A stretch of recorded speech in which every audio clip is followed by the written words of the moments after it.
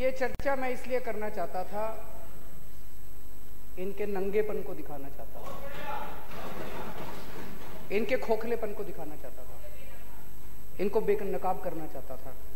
ये कहते हैं इस बिल के अंदर कुछ कमियाँ हैं। हम आपके साथ सारी रात बैठने को तैयार हैं। आप अपने तो आपके बीजेपी में भी बड़े बड़े वकील हैं। उन वकीलों को बुला लो। वो वकील हमारे, हम हम अपने वकीलों को बुलाते हैं। तुम अपने वकीलों को बुलाओ, बैठते हैं, यहीं पर असेंबली में बैठेंगे बाहर।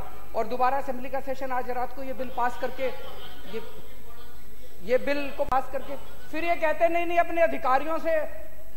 इनको पता है, अधिकारियों को इन्होंने डरा रखा है। ये अधिकारी आज हमारे हिसाब से काम नहीं कर रहे।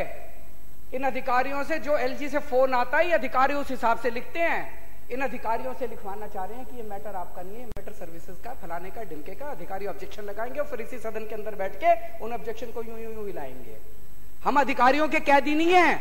आप अधिकारियों के पीछे छुप के राजनीति करते हैं, मर्द के बच्चे हो तो सामने आके राजनीति करो।